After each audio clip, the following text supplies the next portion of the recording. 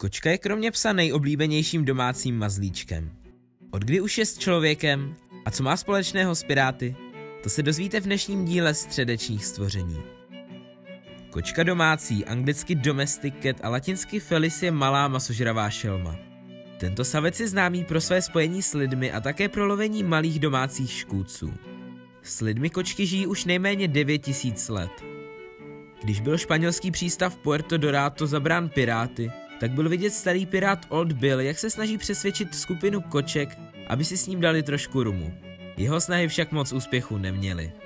Jednou se Constance Malior dostala do sporu s Tiou Dalmou a ta ji proměnila v kočku, o kterou se staral její bratr Žán.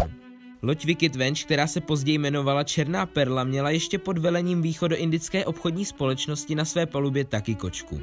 Jmenovala se Henry Morgan po nechválně známém Bucanírovi.